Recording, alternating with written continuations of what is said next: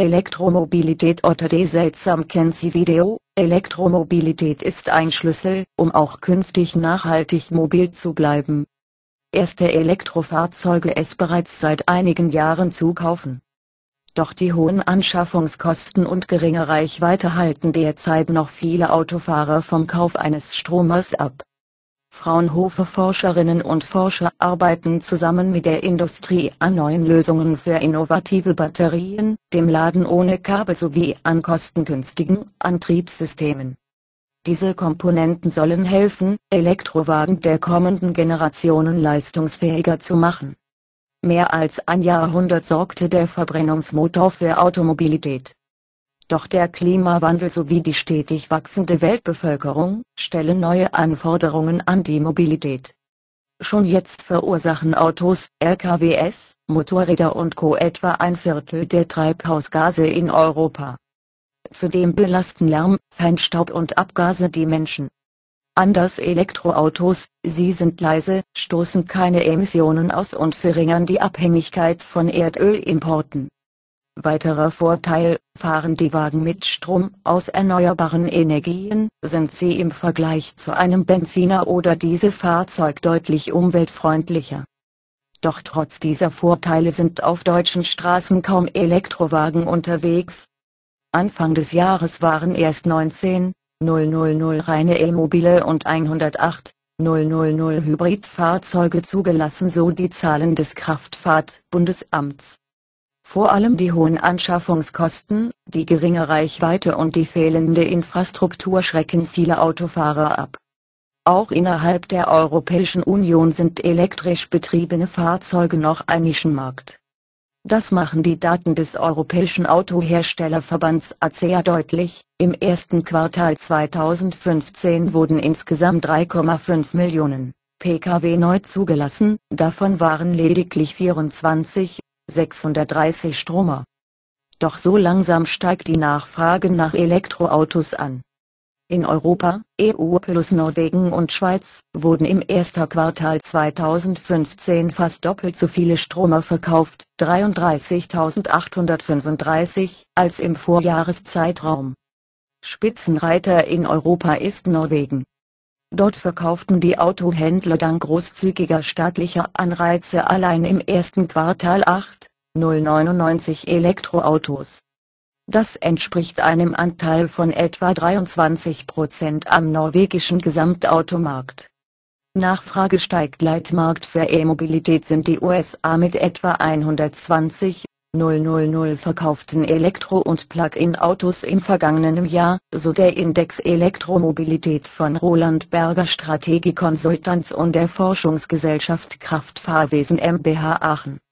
An Bedeutung gewinnt der chinesische Markt, mit knapp 53 000 verkauften E-Mobilen in 2014 konnte das Lang den Absatz gegenüber dem Vorjahr mehr als verdoppeln. Tendenz weiter steigend ein Gulden ZZI Gulden SG Gulden GZ Gulden G Gulden OGZ, C Gulden Gulden Gulden GZ S Gulden SGG Gulden Gulden SG Gulden GGTLICHE Forderung. Aktuell investiert die Regierung fast 7,7 Milliarden Euro in die E-Mobilität. Bereits seit mehreren Jahren unterstützt auch die Bundesregierung den Ausbau der Elektromobilität. Ihr Ziel ist es, Deutschland zu einem Leitanbieter und Leitmarkt für Elektrofahrzeuge zu machen. Die Fraunhofer Gesellschaft trägt dazu bei, wichtige Grundlagen für den Umstieg auf E-Mobile zu legen. Bereits 2009 startete die Fraunhofer Systemforschung Elektromobilität FSEM. Nur zwei Jahre später konnten die Forscherinnen und Forscher bereits erste Lösungen demonstrieren. Derzeit werden die Aktivitäten weitergeführt in dem Leitprojekt FSEM2, siehe Kasten, Elektromobilität schont nicht nur Klima, Umwelt und Ressourcen, sondern fordert auch technologische Innovationen, betont Professor Matthias Busse, der Sprecher des Projekts und Leiter des Fraunhofer Instituts für Fertigungstechnik und angewandte Materialforschung IFAM in Bremen im Fokus der Fraunhofer Systemforschung stehen effiziente und kostengünstige Antriebskomponenten, Leichtbau, Energiespeicher, das Laden ohne Kabel sowie Lösungen für das autonome Fahren. Hierbei arbeiten wir eng mit der Industrie zusammen. Erste Prototypen präsentierten die Wissenschaftlerinnen und Wissenschaftler auf der diesjährigen Internationalen Automobilausstellung (IAA). Leichte, leistungsfähige Batterien Eine Schlüsselkomponente für das Fahren mit Strom ist das Batteriesystem. Daran werden hohe Anforderungen gestellt, es muss nicht nur besonders leistungsfähig, sondern auch leicht, langlebig und sicher sein Fraunhofer-Experten entwickelten deshalb den Leichtbau-Energiepack. Das System besteht aus hochintegrierten und austauschbaren Energiekomponenten sowie einem thermischen Puffer, der für die effektive Temperierung der Batterien sorgt. Damit der Energiepack auch im Sommer oder bei Extremsituationen wie dem Fahren über kurvige, steile Gebirgspässe nicht überhitzt, setzen die Forscherinnen und Forscher das Phasenwechselfluid Cryosol Register Trademark Plus ein das Gemisch aus Wasser und Paraffin kann dreimal so viel Wärme aufnehmen wie Wasser. Erhitzt sich die Batterie im Betrieb, schmelzen die festen Paraffinkügelchen und speichern die Wärme. Kühlt die Lösung ab, erstarren die Tropfen wieder und geben dabei Wärme ab. So verzögert Cryosol Register Trademark Plus im Winter das Auskühlen der Batterie. Damit das Energiepack leicht und dennoch sicher ist, verwenden die Wissenschaftler für das Gehäuse eine Kombination aus kostengünstigen standardisierten Leichtbaukonstruktionen aus hochfestem Stahl und faserverstärktem Kunststoff mit metallischen Versteifungs- und Verbindungsknoten an dem Projekt sind Wissenschaftlerinnen und Wissenschaftler der Fraunhofer Institute für Lasertechnik ILT, Solare Energiesystemen ISE, für Umwelt, Sicherheits- und Energietechnik Umsicht und für Werkstoffmechanik IWM beteiligt. Überholen mit Lithium-Booster-Batterien sollen Elektrofahrzeuge möglichst lange mit Energie versorgen doch kurzfristige leistungsintensive Aktivitäten wie zum Beispiel das Überholen oder das Einfädeln auf die Autobahn benötigen viel Strom und verringern so die Reichweite. Um solche temporären Leistungsspitzen besser auffangen zu können, arbeiten Fraunhofer Forscherinnen und Forscher aus dem Fraunhofer Institut für Siliziumtechnologie an einer besonderen Hochleistungsbatterie der Lithium-Booster soll künftig für die notwendige Energie beim Überholen sorgen und darüber hinaus Bremsenergie effektiv in das Antriebssystem einspeisen. Hierfür sind Lithium-Akkumulatoren mit besonders hoher Leistungsdichte notwendig, die sicher und langlebig sind. Zudem müssen sie sich schnell, wieder aufladen lassen, beschreibt Andreas Würsig vom ESI die Anforderungen. Eine weitere Möglichkeit die Reichenweite von Elektrowagen zu erhöhen, ist der Einsatz von Brennstoffzellen als Rangeexender. Das Fraunhofer Institut für Chemische Technologie ICT arbeitet an verschiedenen Varianten. Einfache Brennzellenstoffzellen mit einer elektrischen Leistung zwischen 5 kW und ca. 15 kW laden die Batterie im Betrieb nach. So kann man deutlich mehr Kilometer mit dem Stromer zurücklegen. Diese Brennzellstoffen lassen sich zum Beispiel mit Methanol betreiben. Noch mehr zusätzliche Energie liefert ein wasserstoffbasierter Range-Extender mit einer Leistung von mehr als 15 Kilowatt. Damit kann der Wagen sogar direkt angetrieben werden. Für kommunale Nutzfahrzeuge wie zum Beispiel Schneeräumer entwickelten Forscherinnen und Forscher des Fraunhofer Instituts für Verkehrs- und Infrastruktursysteme IWI den Range Extender Hi2P2R, dieses System wird von einem emissionsarmen und zuverlässigen Verbrennungsmotor angetrieben, um sowohl elektrische Energie als auch für den Betrieb der Arbeitsgeräte benötigte hydraulische Energie bereitstellen zu können. Laden ohne Kabel Eine Herausforderung für E-Mobilbesitzer ist derzeit noch das Laden. Wer Strom tanken will, braucht ein Kabel und viel Zeit. Das soll sich ändern. Fraunhofer-Experten arbeiten nicht nur an Schnellladenlösungen wie dem Batteriebus EDA, der in 15 Sekunden mit 700 Kilowatt laden kann, sondern auch an der kontaktlosen induktiven Energieübertragung ähnlich wie bei der elektronischen Zahnbürste. Beim induktiven Laden lässt sich Strom durch Magnetfelder quasi über die Luft übertragen Dafür benötigt man elektrische Spulen, die zum einen in der Straße, einem Parkplatz oder der Garage und zum anderen im Auto verbaut sind. Bringt man die beiden Spulen im richtigen Abstand zusammen, fließt Strom und der Akku im Fahrzeug wird geladen. Eine vielversprechende Lösung haben Experten des Fraunhofer Instituts für Windenergie und Energiesystemtechnik EWIS in Kassel entwickelt. Ihr System kombiniert nicht nur kabelgebundenes sowie induktives Laden, sondern ermöglicht es auch, bei Bedarf den gespeicherten Strom wieder ins öffentliche Netz einzuspeisen. So könnten die Batterien der Stromer künftig, auch als Zwischenspeicher für überschüssige Energie aus Sonne oder Wind genutzt werden der besondere Clou des Systems, wir verwenden für die unterschiedlichen Funktionen dieselben Komponenten. So ist das neue Ladegerät bis zur Hälfte kostengünstiger und nimmt etwa 45% weniger Raum im Fahrzeug ein als andere Lösungen, die es im Moment in Forschung und Entwicklung sowie konventionell gibt, rechnet Marco Jung vom EWIS vor. Das multifunktionale, bidirektionale Ladensystem ist bereits zum Patent angemeldet. Selbstfahrende Stromer induktives Laden ist vor allem für Haring interessant. Im Projekt Gemeinschaftlich E-Mobilität, Fahrzeuge, Daten und Infrastruktur, GEMO, entwickelten sechs Fraunhofer-Institute eine Infrastruktur aus induktiven Ladestationen und Cloud-basiertem Ladenmanagement. Die ersten Prototypen des Ladensystems arbeiten sehr effizient, die übertragbare Leistung beträgt bis zu 22 Kilowatt. Damit lässt sich eine übliche Elektrofahrzeugbatterie in weniger als einer Stunde auf 80% ihrer Nennkapazität laden. Noch bequemer für den Autofahrer wäre es, wenn die E-Autos eigenständig die nächste induktive Ladestelle anfahren könnten.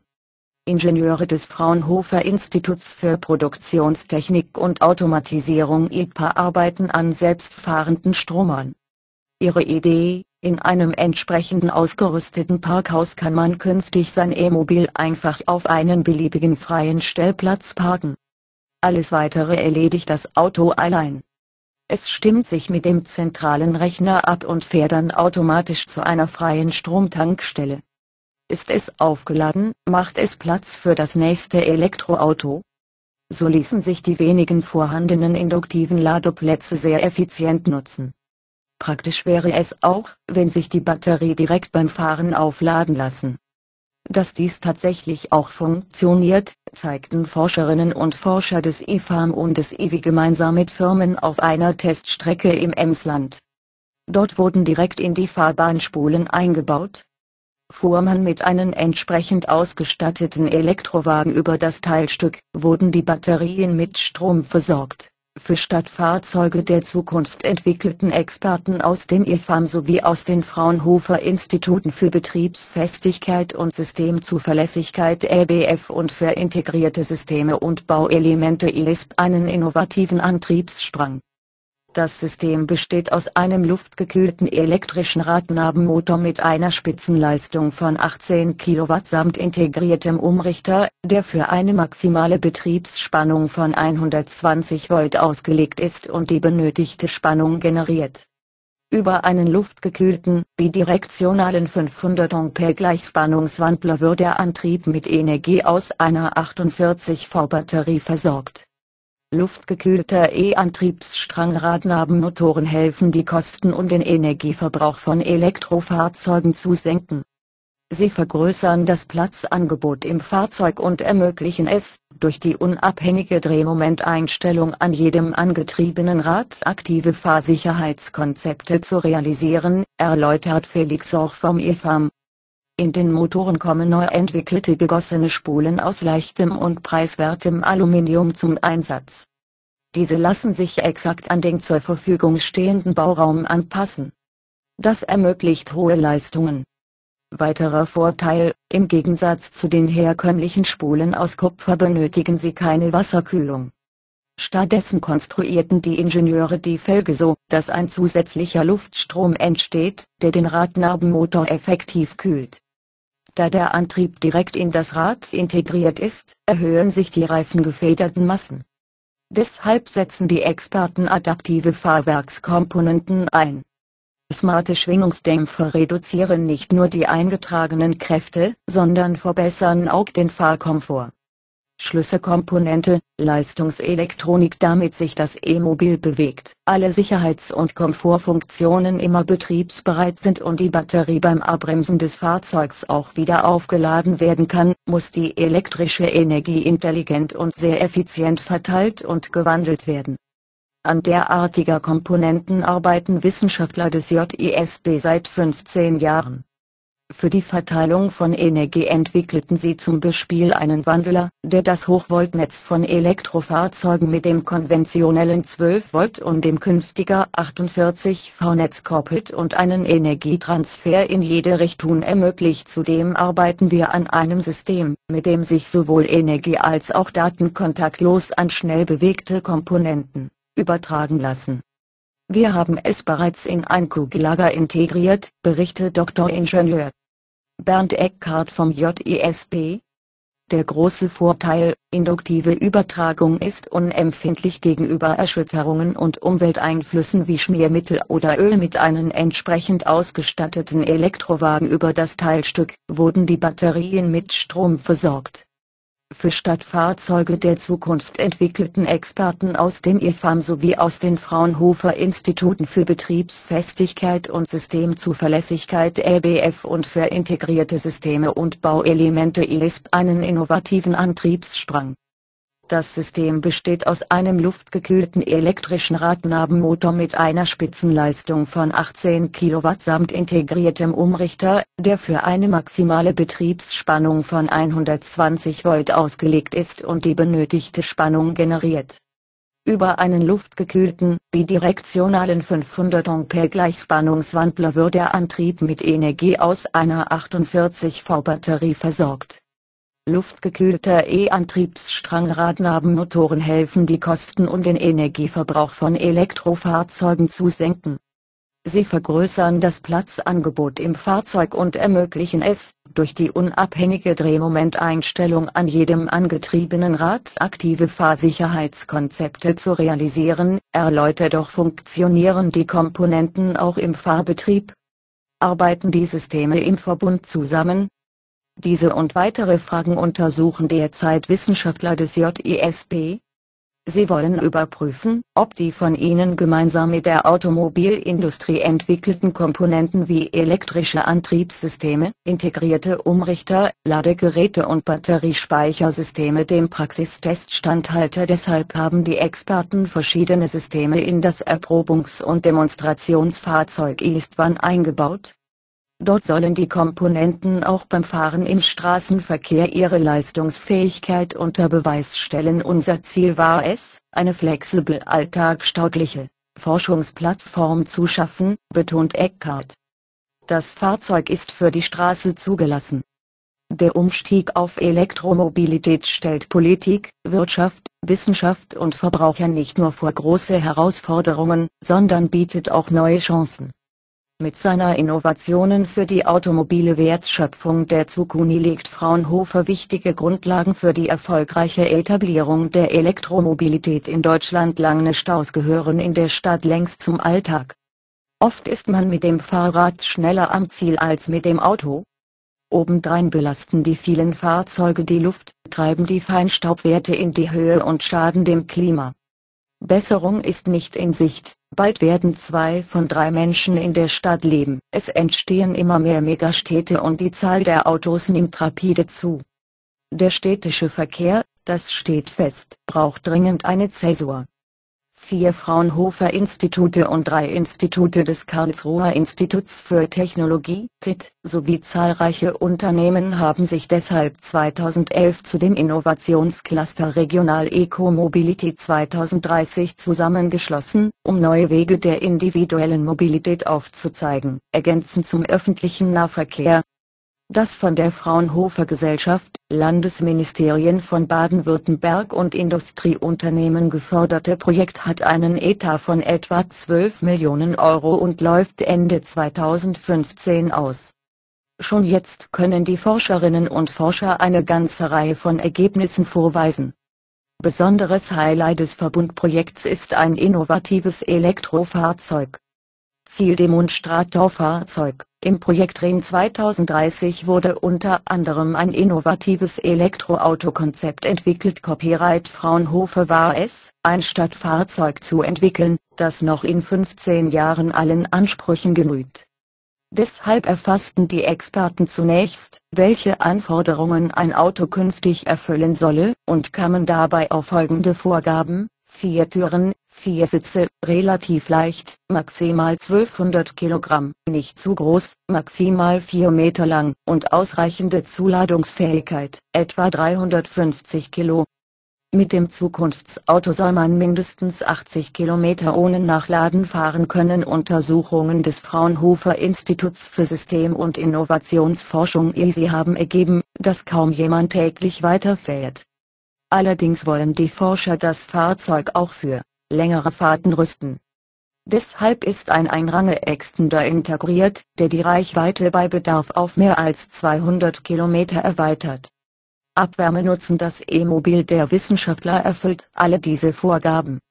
Der Wagen entstand auf dem Chassis eines Audi AL Sportsback. In seinem Inneren stecken zahlreiche Innovationen wie etwa ein intelligentes Wärmemanagement. Überall, wo Wärme entsteht, ob im Elektromotor, in der Leistungselektronik oder der Batterie, wird sie entnommen und dorthin geführt, wo sie gebraucht wird. Bisher wird die Abwärme von elektrischen Antriebskomponenten nicht genutzt. Bei einem Wirkungsgrad von bis zu 97 Prozent, so die Philosophie, lohne sich das kaum. Der Nachteil, die Fahrgastzelle muss im Winter mit Akkustrom beheizt werden, was den Aktionsradius des Autos erheblich einschränkt. Und wenn man bei Frost die Traktionsbatterie nicht erwärmt, wird das Auto zur lahmen Ente. Bei 20 Minusgraden kann es 40% seiner Leistung verlieren, wenn nicht sogar die Batterie Schaden nimmt.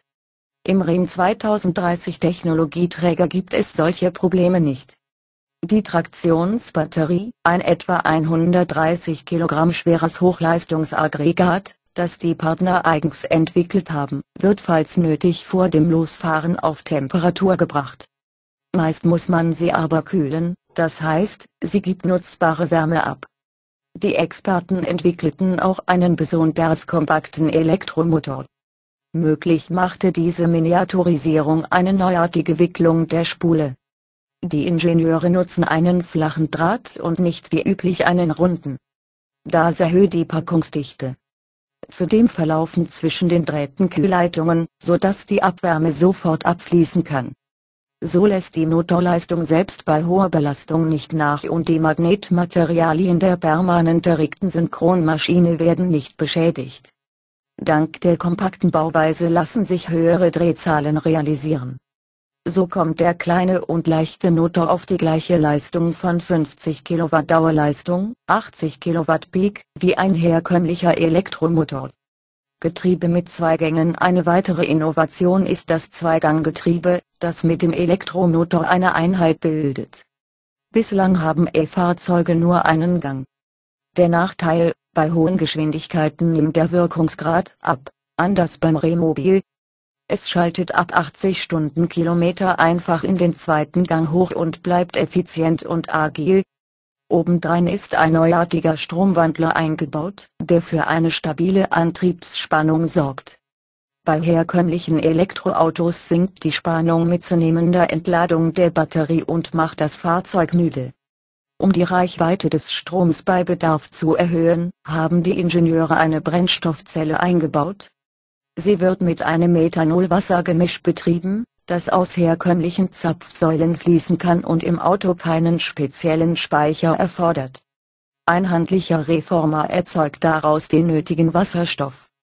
Bei Fahrtantritt springt die Brennstoffzelle an und speist mit einer konstanten Leistung von knapp 5 Kilowatt den Akku. Das genügt, um die Reichweite auf bis zu 250 Kilometer zu erhöhen. Doch das beste Elektrofahrzeug nutzt nichts, wenn es keine Käufer findet. Wie kann man Autofahrer für Stromer begeistern? Auch das haben die Forscher untersucht. Das Ergebnis, die Akzeptanz steigt mit der Nutzung, sagt der Koordinator des Projekts REM 2030 Professor Martin Wietschel, Leiter des Geschäftsfelds Energiewirtschaft am ESI. Arbeiten von Easy-Psychologen zeigen, dass nicht nur der hohe Preis der E-Mobile abschreckt, sondern auch falsche Vorstellungen. Wer einmal einen Elektrowagen ausprobiert hat, ist begeistert, berichtet Witschle. Wir empfehlen Politikern deshalb, er Fahrzeuge zu Testzwecken zur Verfügung zu stellen. Im Projekt REM 2030 arbeiten Experten an der Konzeption ganzheitlicher Mobilitätslösungen REM 2030 Das Elektroauto ist nur eines der Ergebnisse des Innovationsclusters. Die interdisziplinäre Zusammenarbeit hat noch weitere Lösungen erbracht, wie etwa das automatische Fahren ins Parkhaus. Mit diesem Kniff kann man die Wagen viel dichter stellen und die Kapazität der Parkhäuser erhöhen. Zusätzlich zu den rein technischen Innovationen sollen auch neue Organisationslösungen helfen, die Effektivität der urbanen Mobilität zu verbessern, betont Witschel. Wir verfolgen einen neuen Mobilitätsansatz, der sich aus dem Zusammenspiel dreier Fahrzeugkonzepte ergibt, dabei kommen elektrische Fahrräder auf kürzeren Strecken. Speziell für die Stadt entwickelte Kleinst-Elektrofahrzeuge sowie herkömmliche Autos für weitere Strecken zum Einsatz. Damit sich die unterschiedlichen Fahrzeuge effektiv nutzen lassen, müssen diese durch Software noch besser untereinander sowie mit Cars-Haring angeboten und im öffentlichen Nahverkehr verbunden werden. Erst diese intelligente Vernetzung kann dazu führen, dass die Nutzer die verschiedenen Mobilitätssysteme akzeptieren und auch kombinieren